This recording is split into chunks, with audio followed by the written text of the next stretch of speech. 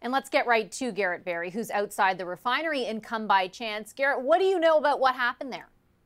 Yeah, the company that uh, operates this facility, Braya Renewable Fuels, has released a statement about the incident here today. It says that it believes seven people were injured as a result of this incident. Police have told CBC News that at least one of those injuries should be considered serious. The company also added that the incident here is contained.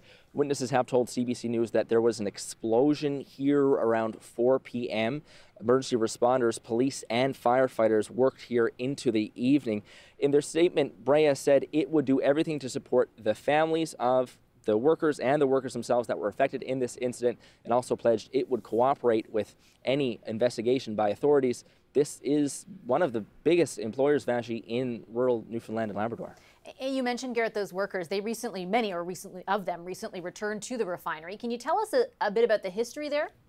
A tough history for workers at this facility. There were fears two years ago that it would close permanently, but it did find a new buyer a year ago, an American buyer that wants to retrofit this facility. It wants to change it to produce a different type of fuel. It's pledged to hire 200 full-time workers. That's a lot. So this uh, facility gets a lot of attention in this province.